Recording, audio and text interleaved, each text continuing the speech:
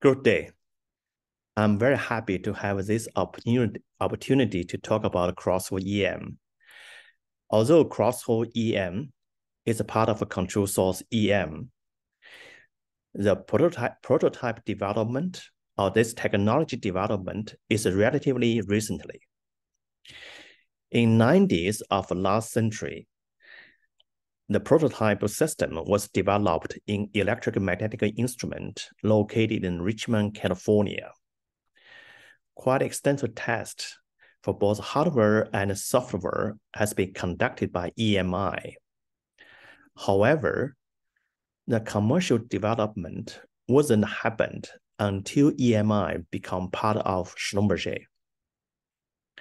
The new commercial system was put in the field around 2012. Since then, we have done quite a few commercial surveys in Brazil, China, mostly in Middle East. Today, in this presentation, I'm not intend to give you detailed development about this technology. Rather, I will give you a snapshot about what is cross-hole EM, how cross-hole EM works, and what kind of problem cross-hole EM can address. This is agenda for the presentation. In the introduction, I will use one slide to tell why we develop cross-hole EM. What is the business thinking behind the idea? Now I will use a few slides to talk about what is cross-hole EM technology, how it works. The most time will be focused on case histories. I will present two case histories. The first one is about fluid monitoring, and the second one is about using cross-hole EM to define fracture system and locate bypass oil. The second example is very challenging, but the reward is also huge.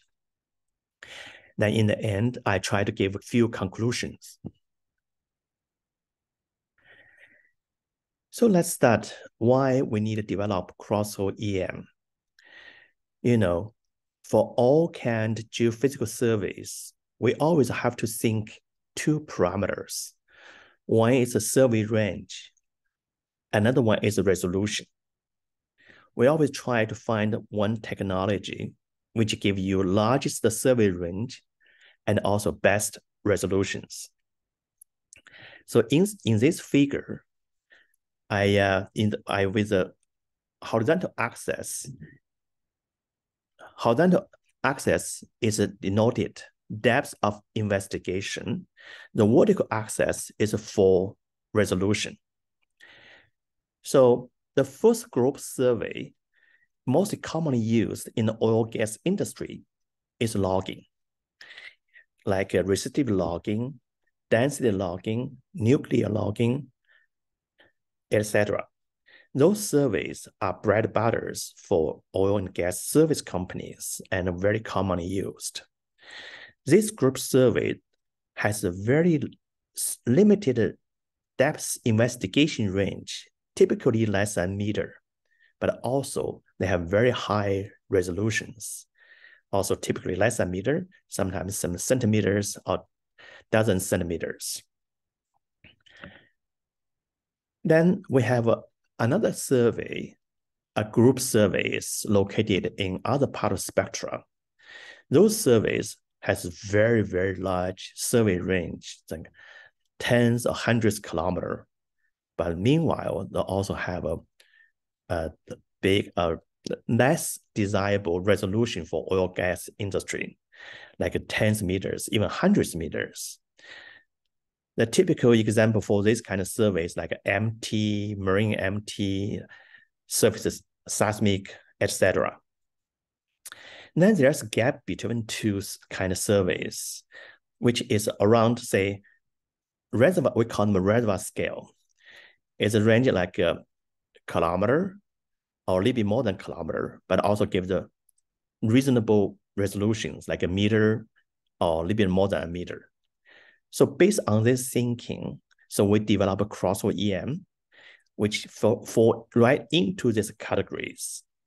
As another technique also can be in this category is called crosswell seismic. So both crosswell EM, crosswell seismic, it was developed to fill in this gap, provide another uh, measurement tool for oil gas industry. So then what is crosswell EM technology? How it works? As indicated by the name, crosswell EM need two wells, one well for transmitter, one well for receiver. So during the measurement, the transmitter will transmit the electromagnetic waves uh, called primary field. This primary field will interact with any medium or material between two wells, then will generate secondary field and induction current. This induction current will generate secondary field. So both primary field and secondary field will be recorded on the receiver side. So by the data processing and interpretation, we're able to recover resistivity distributions between two wells. So that's the uh, main purpose of crosswell EM survey. That's the ideas behind how the crosswell EM survey works. This figure plot the sensitivity function between any pair transmitter and the receivers. As you can see, the sensitivity between one pair transmitter and receiver is limited. It's very much like a cigar shape. That means any resistivity change outside the area cannot be detected by this pair transmitter and the receiver. It also means if we want survey the entire area we are interested, we need multiple transmitter and receiver locations. That feature dictates how do we carry out crosswell EM survey as following. So first, we put the, for all the four receivers below the target. And we put a transmitter also in the bottom of the well. Then during the survey, the transmitter will moving continuously. Same time will transmit the field to the receivers. When transmitter finish one profile, then we move receivers to another location and transmitter will repeat the same process.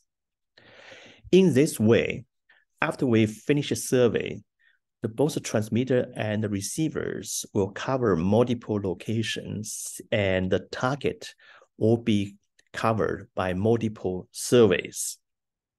So this is like very much just a scan. This technique you can also think is like a scan tech technology, very much similar like a, uh, people use in the hospital CAT scan etc. So basically, the whole idea is we need multiple transmitter and receiver locations to, to fully cover the target that we are interested. Though the current system that Schlumberger has as a commercial system, by the way, is also only commercial system available in the world, contains a, uh, one receiver which has two levels level one, two, three, four, and a transmitter. So transmitters are around 10 meters long and the receivers are around 20 meters long. Both transmitter and the receivers are vertical magnetic dipole. It's one component of magnetic dipoles. And the transmitter is a, has a very powerful dipole, so they can transmit a wave in a long distance. Currently, with the current uh, this system, we for the well for the survey type, we have different combinations. The first combination, we call them open, open. That means the hole has nothing inside the boreholes, the purely open holes. In this case, the transmitter and receiver can be separated by 1500 meters. We still can recording reasonable data and we can recover the system, recover the resistivity structures between the wells. So the maximum distance we can do for open open well is a 1500 meter.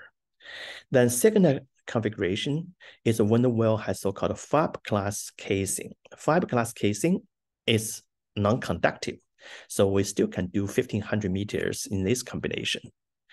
Then third setup is when one well is open, another well is still cased. In this case, because the steel casing will decay EM field quite dramatically, so the maximum separation we can do the survey is 700 meters. Then the last combination, when the both well are still cased, in this case, we cannot do survey as the now. Um, it's simply, there's two reasons. One reason is that, you know, the ball steel casing will basically kill all the field. So, so very little field can be leaked out is from two steel casing. Second, and we, you know, when steel casing, when the when you put a magnetic, magnetic dipole behind the steel casing, there are some distortion factors. We have a way to correct the uh, casing distortion for receivers, but not for transmitters. So right now, uh, for the steel casing, both well are steel cased, we cannot do the survey. And uh, typically, the cross survey, cross well survey is on the vertical sections. You have two wells. So it is essentially a 2D problem after survey when the, when you do interpretations. So typically, we'll provide kind of 2D uh, uh, pictures or 2D structures about the resistivity distribution between two wells. That's the most typical product from cross-well surveys. However, if you have a multiple wells, we can carry out a multiple combination of the survey. Then you can put them together. You can construct so-called pseudo 3D sections or multiple 2D sections and one pseudo 3D sections. It's another way to present the, uh, the final products. So typical problem the crosswell EM can solve is following. First is for the fluid front monitoring. That's in the oil gas industry is a very common common problem, especially when you inject water, you like you like to know where water goes. So the crosswell EM can help to monitor the water flow. The second one is how to identify the bypass the pay. Here we mean bypass the pay is, uh, let's say you have two well, both well are produce oil. How if the two wells are kilometers apart, there may some maybe some bypass pay or maybe some residual between two wells, which you we do not know or operators like to know where it is. Then we can use cross-well EM to identify or to locate this bypassed oil. Then of course we can use also use cross-well EM to enhance the reservoir characterization and modeling, simply because you can use cross-well EM to provide more information those information will help you to, to enhance the reservoir monitor, monitor, monitoring and modeling. And of course, the last one, we can also help the, the drilling optimizations. If you can locate where is a bypass oil or residue oil, then of course you can guide uh, new drill new drillings, which actually I have an example to show show you for this kind of application. Now let's go to the uh, field examples. First, I like to show you so-called when monitoring water flood. That's uh, one of the most commonly encountered problem in oil field applications is a water flood. So the problem is this. This application is done in the Middle East, uh, close to Abu Dhabi, uh, at an oil field called Bu Hasa. The Bu Hasa is a very old, old oil field is already start, started secondary recovery, secondary recovery a long time ago. So for the secondary recovery, they did uh, water injection. So the basically the water injection pattern is they do so-called preferred water injection. Basically, they inject water along the edge of the oil field. Now, the problem is, if you look at the more detail for the reservoirs, for example, we showed here, there's two unit of the reservoir, the top unit and the lower unit. The upper unit has a much higher permeability than lower unit. So in this case, when the water, when the preferred water comes to this reservoir, of course, the water will go to up units because they have a higher permeability, water easier to flow in that unit. So the lower unit have very little water or hardly any water in that case, the lower unit may have a, a lot of left bypass oil. So it's not a desirable situation. By the way, when we drill, when the operators uh, put water in the oil field, they did it for two purposes. One purpose is keep the pressure. Another purpose is to push the oil to the producers. So if the the lower unit cannot have the water go in, so the water cannot push the oil. So they may left a lot of bypass oil there. In that case, the operator designed a pilot project. They want to change water injection pattern. So they, they use they drilled a horizontal well as injector, then drilled three observation well, try to monitor how the horizontal injector will improve the water injections. So if we look more details on the vertical section, it looks like that. So we basically have an injector go through both the unit four and the unit five. Unit four has a higher prob uh, permeability, permeability than unit five. Basically, the difference by three times. One have a 50 millidarcy and another one only has a 15 millidarcy. In this case, the injector will limit injecting water only in the unit 5, not in the unit 4. So in this case, they can force water only stay in unit 5. In order to monitor the water injection efficiency, inject water, so they also drill three observation wells, OB1, OB2, and OB3 and they decided to use cross-well EM to monitor water injection and see how the water spread inside unit 5. So here we showed you and um, how we carry out this project. This project actually is we did a time lapse lapse survey. So the first survey did is before the water injection. Here we have three sections, each section corresponding to different well pairs. So for the first section is a OB1, OB3. Then the next one is OB1, OB2 in the middle section. The right section is OB2 and OB3. And the injector injectors are marked in here. So the injector only showed up in the OB1, OB3, and OB1 and the OB2. So this is a before injection. The what we showed here is resistivity map for all three sections. And the, the, injecting water is a very solid water, so it's conductive. It's a very conductive. So the idea is that we the, the reason we can monitor the water flow is because the water the injected water will alter or will change conductivity. It's because simply because the water injected is very conductive. So by monitor the conductive change, we can find out how the water moves inside the, these layers or inside the reservoirs. So this is the, we call them a reference uh, uh, map or reference state is before the water injection. Then six months after water injection, we went there again and uh, collect the data and did all the interpretation and inversion again. So we get the new cross sections for all three wall pairs. As you can see, close injector for the first one, OB1, OB3 section, the water spread around to the both side very nicely and stayed in unit 5.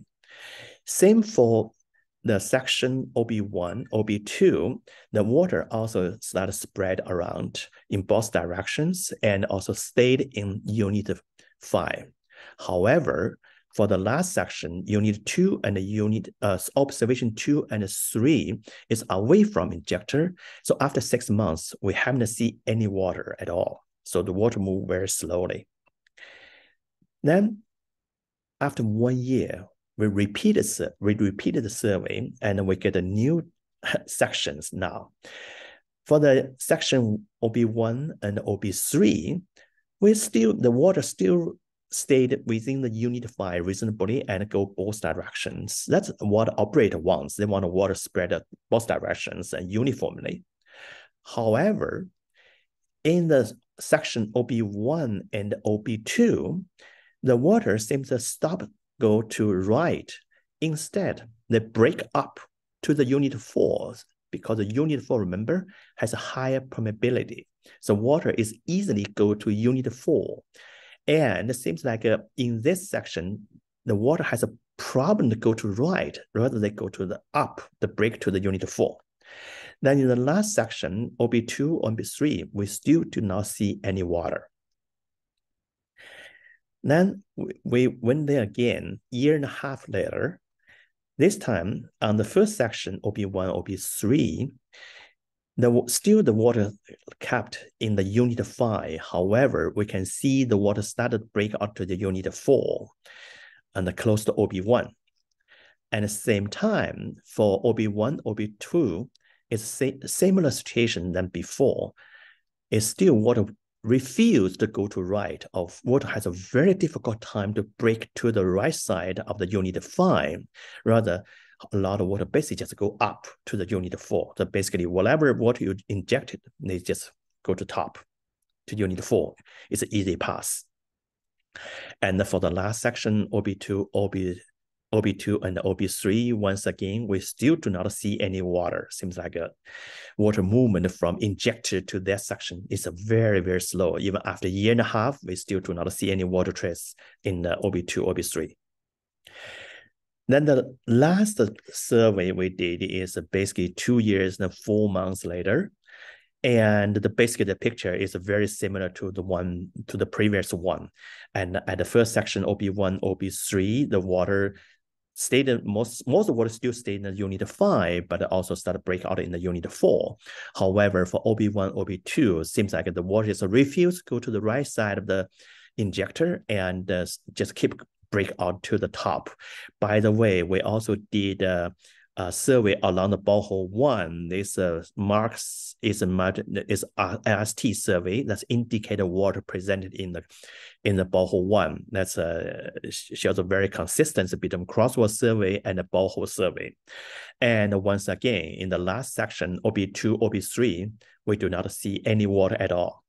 So this survey is very interesting for the operators. Basically, they show that uh, inside the reservoir, the water flow is very uneven, even in unit five especially in the OB1, OB2, seems like some anisotropy for the water flooding, water flow. That basically the refuse go to right of the injector and stay on the left side and break out to the unit four.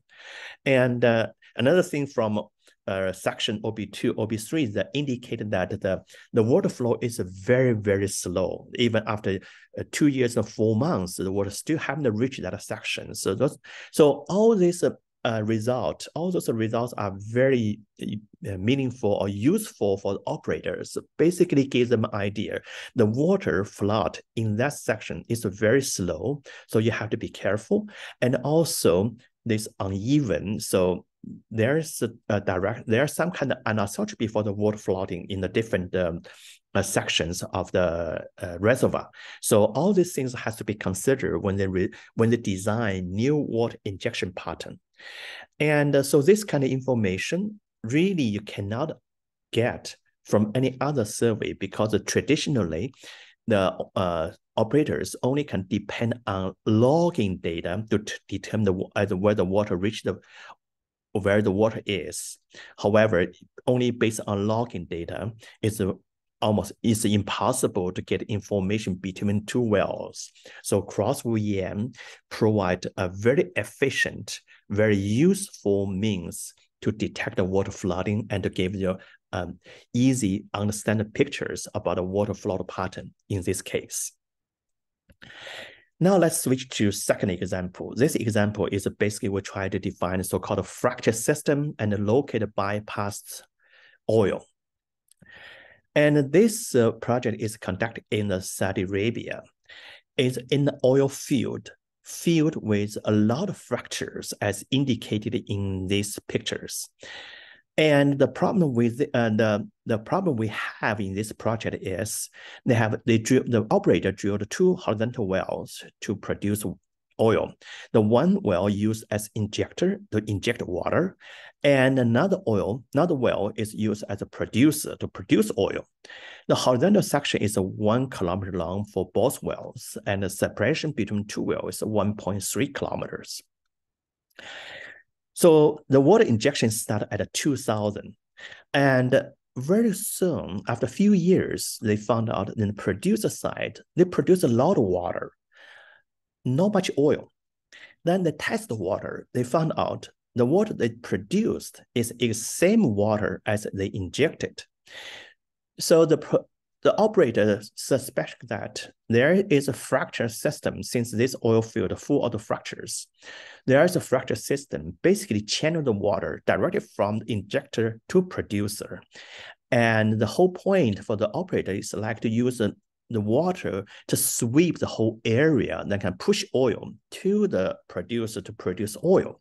So if the, they have the fracture to channel the water, they defeat the purpose of inject water.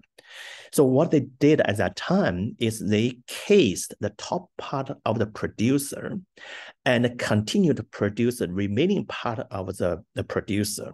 So they kept it for a few more years. Then they found out the water is too much water they cannot keep production. So they shut down the produce at production at 2013. Now, they really like to understand what's going on between two wells. They want the if do they have a fracture system? Do I have a fracture system fracture system which channel the water and where it is? Another most important thing for them, do they have a bypassed oil still stayed between the two wells? So for that two purpose, they decide to use cross EM to, for this project. And however, for us, this is a very challenging project simply because so far, all our cross EM is done on the vertical wells. We never did on horizontal wells. So the first problem we have in mind is with a horizontal well, you have two one component magnetic dipole for the vertical well, a magnet, the vertical magnetic dipole has a very good coupling with the horizontal layers. But if you put a transmitter and receiver inside the horizontal layer, the coupling is almost minimum. So the first question we have is, can we do it? Can we use cross EM in this kind of situations? So for the whole project, we have a long really long planning. So basically the project set up in 2012. So in order to really understand how we can carry out the cross EM survey in horizontal wells, we did an extensive simulation in 2013. Only after we get a very positive results from simulation, then we started to do the data collection in the field at 2014. And then after data collection, we did an interpretation and inversion to get a resistivity structures between two wells, which try address the problem operator has. Then actually after that, we also try to convert the resistivity structure into the saturation map. So this is all the process we did. It takes multiple years to finish this project. It's a big, it's a big project, very challenging. Then first we did a simulation. They call it a pre-service simulation because we try to understand how the coupling goes between horizontal wells and the targets. So what we did is the following. Since we have the, the trajectory for both horizontal wells, so we use a 3D simulation code. We put the horizontal wells into our code. Then we construct artificial fractures. For this case, we, for the three fractures between two wells. Then we do the forward calculation. So here we showed you forward calculation. By the way, this called we call this uh, a map a pseudo magnetic field map. This basically is a forward calculation for the cross EM. The horizontal axis is for all the transmitter locations and the vertical axis for all the receiver locations. So in this map, we basically shows the magnetic field strength for all combinations of transmitter receivers. It's a very compact way.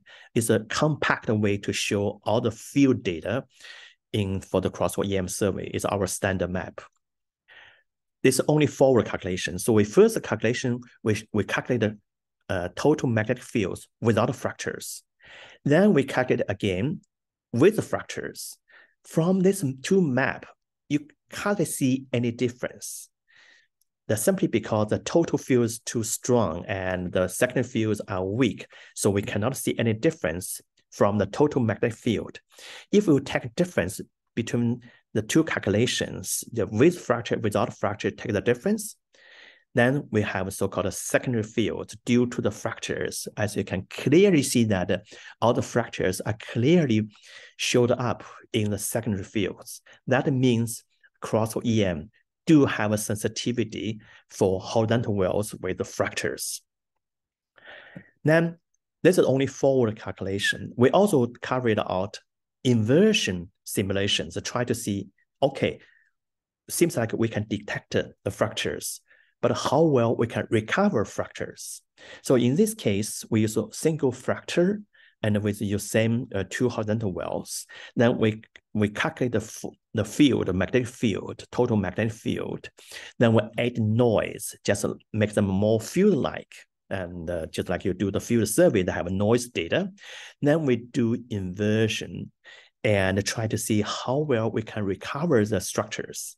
As in this case, as you can see, it's not too bad, although we cannot really 100% recover the true structures because you know inversion is always has limitations and um, we can never go back to true structures but nevertheless the recovered structure is not too bad the represent representations of the true structure so in this case we base at here we basically indicate that yes our crosswell em not only have a sensitivity for the fractures we can also recover the fractures under suitable conditions so at this stage, we say, yes, our simulation is successful. We do have a sensitivity. We are ready to go to the field. Then the field survey is another challenge because uh, as indicated before, as I pointed out before, when we do the crosswell EM survey, we need to have a multiple transmitter and receiver locations which is easier for vertical wells simply because the gravity will allow will allow us will help us to do the move the transmitter and receivers back and forth back and forth in the vertical wells. However, in the horizontal wells, that's not easy at all. I mean, how to move the transmitter receiver back and forth is very challenging. So here we use a coil tubing. It's a, a special system which can put transmitter in the coil tubing and help them moving back and forth inside horizontal wells. It takes a long time and uh, be, has to be very careful to do the survey. We did this after six days of field operation. We collect 140 data profiles. That means 140 receiver location, 140 multiple transmitter locations. And the good thing is we get excellent data quality. And here we show the uh, um, all the receiver locations for the data, collect data. As you can see, each curve are smooth and correlated each other. Actually, this is the best crosswell data we ever collected. And the reason for that, we think is the following. When you have when, when you're the transmitter receiver in the vertical wells, you know, the, the, the transmitter receiver is hanging in the air. So mechanically it's very not very stable. So any movement will cause noise. And our receiver is a very, very sensitive, sensitive magnetic dipoles. So any minor mechanical movement will become noise disturbing our field. However, in horizontal field, horizontal wells, the both transmitter and receiver will sit down on the well. So they are very stable, mechanically very stable. So practically have no mechanical noise. That's probably why we have excellent data. Now, since we have best, very good data, the next step is we need inversion to recover the resistive structures. That's another challenge. Actually, we have two different challenges. One challenge, as I mentioned before, this whole horizontal wells have two sections. One is open open, one is open to steel. Remember that receiver receiver well or produce well, part of the produce well is cased by steel casing. So we our surveys cover both the open part and the steel section in the receiver well. And also, of course, how to handle 3D inversion with the horizontal wells. So first part we do, we have to deal with the so-called uh, how to uh, match with open open view data, data and open case data as one example we showed here. And this part receiver is in located behind the steel casing, and this part receiver located on the open well. Of course, there's a big difference between field strengths simply because of casing distortions. So of course, we need to recover the, uh, we need to correct the casing distortion on the on the receivers on the receivers for this part of a survey data. For this, we at Schlumberger have developed the proprietary technology, which allow us to correct casing distortion for each receivers. And these corrections are built into the inversion. So when we do inversion, the inversion code will automatically detect receiver location and do the corrections. So this part is long-term, long-time development, but now it's a part of a inversion process. Now, the next challenge is inversion itself. You know, we have in the we mentioned before for the vertical for the vertical wells, we mostly just do 2D inversion simply because at that time, in that case, on the vertical section, our strike direction is go along the layer direction. So you can use 2D, uh, use a 2D inversion. In this case, our transmitter and the receiver are located in the horizontal wells. So our strike direction actually is point to the layer layer direction, layer sections. So we have to use the 3D inversion for this case.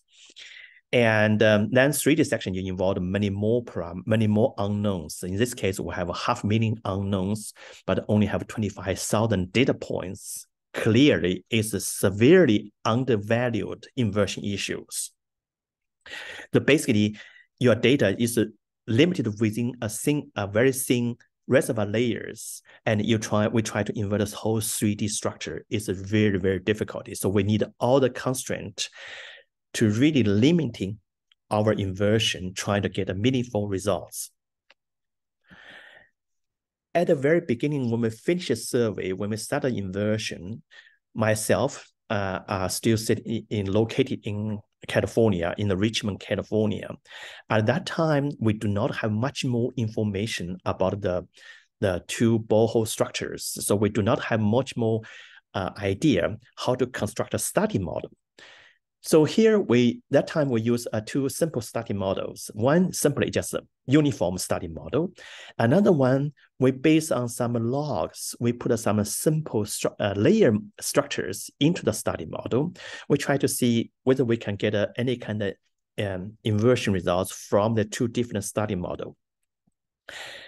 As you can see, with when you have a uniform, regardless, regardless of what study model you have, the uniform layer, uh, uniform structure or layer structure, you can see the inverted results are a lot of artifact. And that means um, our study model probably too far away from real structure. So we probably fall into local minimum. And the 3D problem is very, very nonlinear and we have very little constraint. We cannot really reach our final model just with a simple study model. We need a better study model and other constraints. So basically, this try indicated that we cannot use a simple study model. We cannot, if we use a simple study model, we cannot get a meaningful in, inverted structures. So now let's look how we can constrain our inversions. So here I showed uh, logs. These are uh, three logs from a vertical well nearby our horizontal well is not uh, is nearby our survey area, near the horizontal wells. So look at uh, the, the middle section, the middle one, the log is called porosity. As you can see, the reservoir we are in has a high porosity, and the sections above our reservoir and below the reservoir have very low porosity. So that gave us an idea. As you know, remember the water injection, both transmitter and receiver wells are confined in this layer. So the injected water should be stay inside the reservoir simply because the top part and lower part has a very low porosity. The water will have a hard time to go top and go to the, the lower part. So the water will mostly contained in the reservoir. So basically on this argument, so we really do not invert the top part and the lower part. We really only need invert the reservoir part. So if we can construct a good 3D study model and um, fix the top part, fix the lower part, only invert the, um, the reservoir part, we probably can get reasonable structures. So that's the idea. We try to con constrain our inversion. In order to do that, we need to have a good study model. We need to have all the information we can get to construct our study model. So in 2015, I was transferred to Saudi Arabia, still for, still for Schlumberger.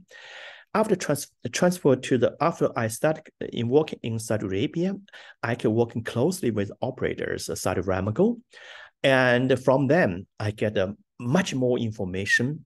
We have uh, we, they have very detailed, very good petrophysical model. From their petrophysical model, I can construct the new study model, and in this case, we have very good control in the top part and the lower part of above the above and below reservoir. So in the new surveys, we fix the top part and, and, and the lower part only invert the reservoirs. So that's new inversion results. As you can see, the new inversion results are much reasonable, and simply because we have much much better study model, and which allow us to just invert reservoir sections without touch any other part. And after many iterations, after many uh, try and errors, eventually I come to this 3D model. So this 3D model, you can see very interesting. They have a, a, a very conductive, this is a purple color is a very conductive, it's a, around one ohmmeter or below one ohmmeter. And we also have a reddish color that's more resistive. So this purple color is indicated fracture, basically indicated fracture system. Basically, this is like a water pass. Whenever injector inject water, the water will go from the water pass go to the producers. And this reddish color is basically indicated part of the reservoir, which supposed to be swept by water, but probably never had water simply because the water all goes through the fracture part instead of go to the uh, rest part of the reservoir.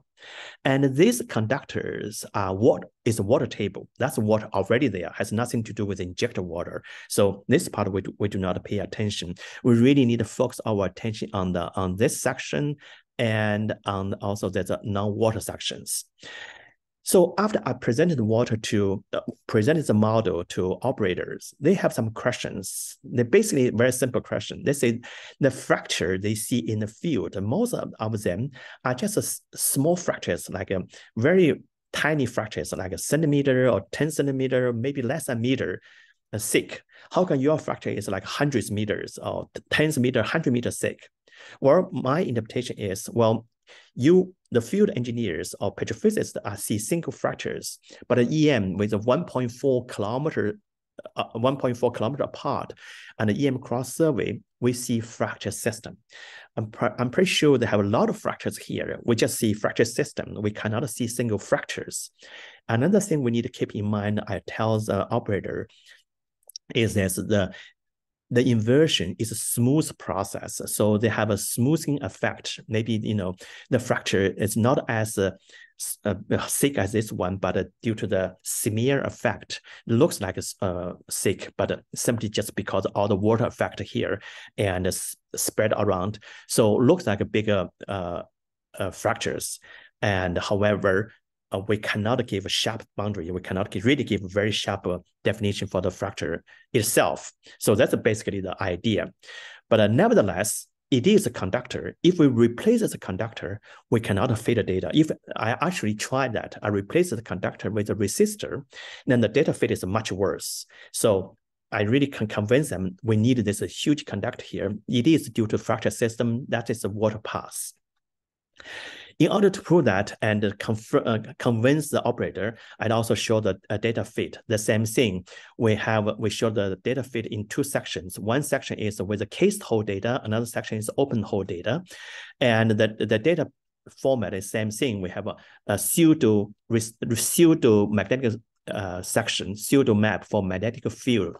So the top part is uh, we measure data, and the middle part is uh, calculate data from our final model.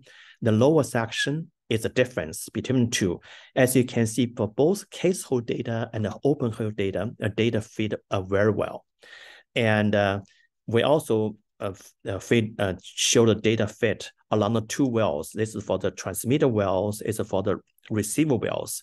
So the red one is a resistivity recovered from our 3D model. The black one actually is a borehole log did with a borehole logging tool. It's called AIT log. Although the, the, the overall trend is very similar. The details are different. That's simply because actually the two comparison is not to apple to apple comparison because uh, our 3D model based on data, based on a Crosswell EM survey that's done in the 90 hertz. The black one, the AIT log is there's a resistivity log it did on 26,000 hertz. So the two different survey has total different uh, uh, range, survey range. So it's not quite up to up comparison. But the, nevertheless, the overall uh, uh, structure, overall data fit is uh, reasonable. So that shows that uh, our model basically can fit our data. Typically, after we have a con uh, get a conductive model, we normally stop here. But for petrophysicists and engineers in the oil and gas field, they are not interested in the conductor conductivity distribution. They are more interested in the saturation distribution. So the, our next job is convert the conductivity into the saturation. In order to do that, we use so-called Archie's formula. This is a very popular formula used by petrophysicists. Basically, they allow us to allow the petrophysics to calculate water saturation based on the bunch of different parameters. That basically here, in order to calculate the water saturation, we need to, to, to know five parameters. One is the porosity, one is the real resistivity, one is the water resistivity, another one N is so-called saturation exponent, exponent. M is called cementation exponent. So we need to know all these five parameters in order to calculate the water saturation. So next slide, I show you how to we reach all these five parameters. So basically, first, porosity, first parameter is porosity. We did a petrophysical simulation simply because we have a lot of data, seismic data, different logging data. This all this data allow petrophysics to do a kind of detailed mapping for the porosity in the area we surveyed. So we first one use um, petrophysical simulation and get a porosity. Then the next important thing is a real resistivity. That one can only uh, obtain from Crosswell EM survey. So basically, by the Crosswell EM survey, we are able to, to get a 3D resistivity distribution, which allow us to define the resistivities between two wells. Then third one, we need to know the water resistivity. For that, we needed to know salt, salt concentration in the area, which we have another petrophysical modeling, which allow us to calculate the salt concentration. Once you know the salt concentration, you can calculate the water resistivities. The last one is MN. MN is more complex. MN, there's two parameters depend on the rock type, depend on porosity, depend on rock type, and also depend on pore type. So it's very complex and they depend on the microstructures. There's no way you can calculate MN. The only way you can get MN is through the lab. So we have to get the core samples, use a lab test, lab experiment to define MN. So once you define all these parameters, then we can finally calculate the water saturation. So after all this process, we are successfully transformed from conductivity, conductivity map into the saturation map. As you can see, the saturation map, the basic structure is very similar to the conductive map. So basically you have high water saturations along the fractures. Here they also have a layer fract later fractures, different fracture system. They have high water saturations. And at a reddish color, they do not have water, so they have a very low water saturation. So the basically is a similar picture, but uh, for the petrophysicists, they like to see the water saturation distributions. Now, it should I should finish the presentation now here now because we are getting everything now. However, uh, when I was in uh, Saudi Arabia, when I finished all this presentation to the Saudi Aramco, one day I found myself in a conference with a bunch of petrophysicists and uh, field engineers. And they told me, they said, yes, we like your model. You convinced us your model is a valid model. Now we want to drill the well to test your model to see, can we find bypass oil? Wow, that's very challenging. So I say, well, basically say where to put well. I told them, say, if you want to find bypass oil, the the best possibility is on this reddish color. The argument is the following. We know this reservoir layer has a high porosity, and we know the water, most of the water goes through the water channel. And here, very little water inside this area. If very little water, that means they still have a high resistivity. We know oil has a high resistivity, the high high porosity. So the high resistivity might related with the high oil concentrations. So that's an argument. The, pe- the most possible place you can find oil is in the reddish color. So if you want to drill well, that's probably the best place to put your well. Well, that's what they did. And the operator drilled a new well and targeted this reddish area. Guess what? They do find a good oil column and they produce good oil actually the oil, this field, this well still producing as we're speaking. So this the first crosswell EM result actually is only crosswell EM result be tested by drilling and success, successfully tested by drilling. So it's really kind of interesting. You know, as you can see, this is a very complex project. It's very challenging, but at the end, the rewarding is also enormous because they found oil based on the Crosswell EM result. So in summary and conclusion, I would say Crosswell EM is excellent resistivity imaging tools at the reservoir scale and very efficient for monitoring fluid movements. It's capable to locate bypass oil in a fractured reservoirs. But then in order to do crosswell survey, we needed to have two wells. And normally, with, normally it's 2D images. Well, at, at right now, we cannot work two steel cased wells. So I'd like to also make one more comment before I finish the talk. Although the both examples for oil and gas field, actually the Crosswell EM can also for use for mineral explorations. In fact, before I joined Schlumberger, I was working in Canada for Inco. At that time, I already used the Crosswell EM for mining exploration and for mining planning with a quite interesting result. So, so Crosswell EM is also can be used for, mining applications. Another thing uh, Crosswell EM can also use for uh, monitor the CO2 movement. So basically for CO2 sequestration, risk Crosswell EM may also find uh, useful. Although we never collect the data for the CO2 monitoring, but I did a quite, quite extensive quite extensive simulation for CO2 monitoring, and the results are very positive. So basically, Crosswell EM is a, a different uh, technology, and its tool can be very useful for some uh, cases which surface EM may not be efficient. That will be end of my presentation. Thank you.